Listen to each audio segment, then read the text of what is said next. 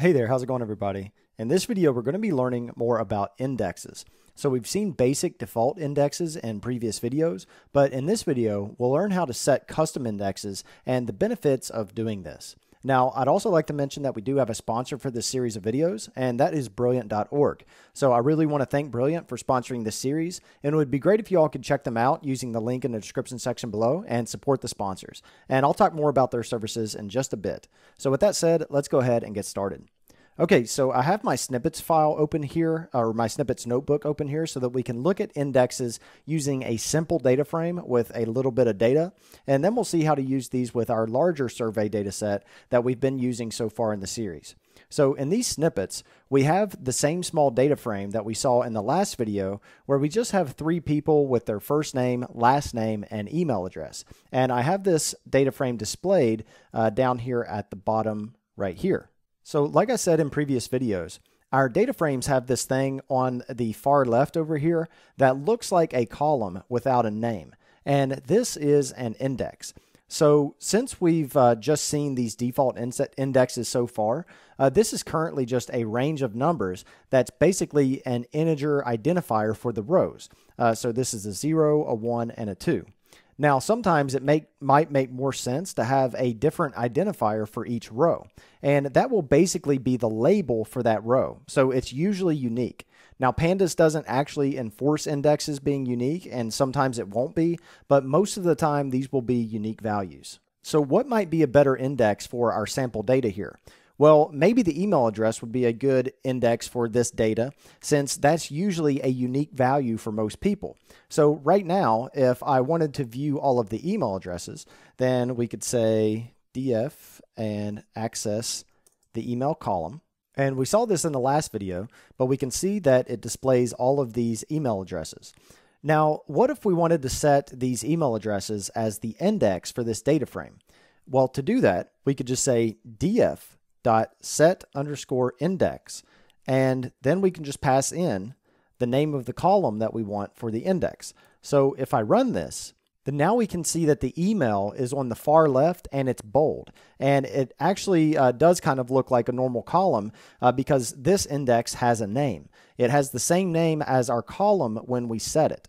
So I want to show you something here. Uh, we can just set this index in this cell, uh, but if I look at my data frame again, so underneath here, if I say uh, df to print out this data frame, then we can see that our data frame didn't actually change. Uh, it still has the default index over here on the left. And that's because Pandas doesn't uh, do a lot of these changes uh, in place unless we specifically tell it to do so. And this is actually nice because it allows us to experiment without worrying about modifying our data frame in unexpected ways. Uh, so let's say that we actually did want to set our index to the email column and have those changes carry over into these future cells. So to do this, back up here where we said set index, uh, we can just add in another argument here and say in place is equal to true. Now, if I run that, and then rerun the data frame again, then now we can see that it actually did, did set that index uh, and modified that data frame. And we can actually uh, look specifically at that index just by saying df.index. And if I run that, then we can see that we have an index here and it has the values as a list of what all the index values are. And it also tells us that the name is equal to email. Okay, so why would this actually be useful? Well, like I said before, uh, the email address as the index gives us a nice unique identifier for our row. And remember in the previous video that we used .loc to search our data frame by label.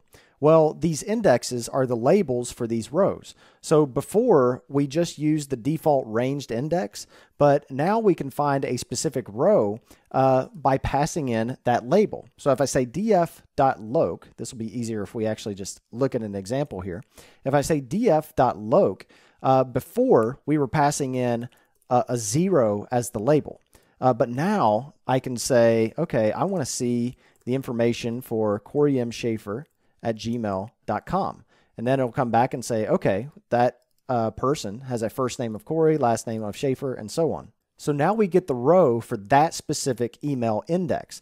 And like we saw in the last video, we can still pass in values for the specific columns as well. So if we wanted the last name, then I could just pass that in as the second value. So I'll just say I want the last name, and we can see that there we get Schafer. Now we actually no longer have those default integers as our index because now it's using the email. So if I try to use those integers that we used before, so if I say if I want row of zero using loc, then we're going to get a type error. And I get an error because it no longer has an index with that label. If you want to use integer location instead of labels, then you still have the iloc indexer available to you. And we saw that in the last video as well. So if I change this to be iloc instead of loc, then it'll still give us that first row. So that still works. Now, if you accidentally set the index and want to reset it, then we can do that with the reset index method. So down here, I will just say df dot reset underscore index, and I will do an in place equal to true so that those changes carry over. And then I'll go ahead and print out that data frame. So if I run this, then we can see that now we're back to having that email as a column and the default range index. Now, if you actually know what you want the index to be when you're creating your data frame, then you can simply set it there instead of setting it later using the set index method. And we can do that as we're loading in data from a CSV or other source as well. So let me switch over to uh, our other notebook here with the Stack Overflow data that we've been using so far throughout the series. And we'll take a look at some real world examples of why using indexes is useful. Now, again, for those of you who have been following along uh, with the series so far, this should look um, familiar to you. Uh, but if you haven't been following along, and this is the first video you've watched, uh, I we here's a, a brief overview of, of what's going on. We are loading in pandas here. We are loading in some CSV files here as well, and I have a link in the description section below to the data that we are uh, using for these CSV files. And then we're also setting some options here in pandas to display max columns to where we can see all the columns and max rows to where we can uh, see a lot of these rows. And then this is what our data frame looks like. These are just survey results from Stack Overflow. So, so far, if we look at our data frame here, uh, in the series so far, we've been using this default index. Uh, and we can look over here and see that it's just this range from 0, 1, 2, and 3. Now, if we look at the survey response data, then it looks like they actually have a unique value per row within the data itself. So if we look at this respondent column here, this respondent column uh, is actually a unique ID. So it's respondent one, respondent two, and three, and so on. So really, we should probably clean this up a bit and just use that respondent ID as our data frame index. Now, we could do this just like we saw before uh, by coming down here and saying df dot uh, set index and do it that way. Um, or we can do this while we're actually reading in the data uh, by passing in an additional argument to the read CSV method. So up here where we loaded in the data, uh, let's just add another argument here. And we will call this index underscore call is equal to, and now the name of the column that we want to be the index. And in this case, I want it to be this respondent unique ID here. So I'm going to say our index call is equal to respondent. I will rerun that cell. Now I'll come back down here and rerun our data frame head. And now we can see that this is cleaned up a bit because now we have this respondent as our actual index. Uh, so now these are the labels. Um, so if you wanted the first respondent, then uh, we could just say df.loc, and that is 1. So this is the first respondent there. Okay, let me delete that cell. Okay, so now let me show you a real world example of where I would use this. So if you remember from earlier in the series, we have our survey data that we can see here, but we also have another data frame that tells us what each of these columns actually means in the survey data. Uh, so let me display that data frame real quick. So for example, if I wanted to know what hobbyist meant, uh, then we can look at our schema data frame here, and we can see that the answer that they er, or the answer on the survey or the question on the survey for hobbyist was do you code as a hobby? So when we see yes and no questions up here for hobbyist, they were answering the question do you code as a hobby? So here's a question. Uh, what if I wanted to locate what a specific column meant without needing to search through this entire data frame manually? Well, in this case, we can simply set the column name as the index and use the dot .loc indexer. So I'll set this index up here where we loaded in the schema data frame. So let me go back up here to the top and the column we want this here to be the index because these are all unique values. So I'm going to grab the name of this column, which just so happens to be column, and then up here, I will say that I want the index to be equal to this column of, oh, actually, let me get that within the string there, okay? Index call is equal to column. Run that, and now let's rerun our schema data frame. And now we can see that that column is bold, so that is our index. So now we can use dot .loc to search for those columns directly. So if I wanted to see what the information for the hobbyist column was, then I could just say, let me scroll down here. I could say uh, schema data frame loc, and then we can just pass in the label of the index that we want. So if I wanted to see what hobbyist was, then we can see, oh, okay, hobbyist has the question text of do you code as a hobby? So let's go back to our survey data here and see if we can find uh, a column that doesn't make much sense to us. So if I scroll through these here, okay, like what would this one mean? MGR idiot, okay? MGR idiot. uh, so let me scroll down here and now I'll paste that in to the uh, schemadf.loc and rerun that. Now we can see that we get the information for that column. Uh, now, the text is actually truncated in Jupyter Notebooks by default, uh, but we can uh, we can change that setting if we'd like to see this entire question text. Uh, but I kind of want it on since we have so much data to display. Uh, but instead, if you want to see the full text for that question, then you can just access the data in that row and column directly uh, by also passing in the column name into dot .loc as well.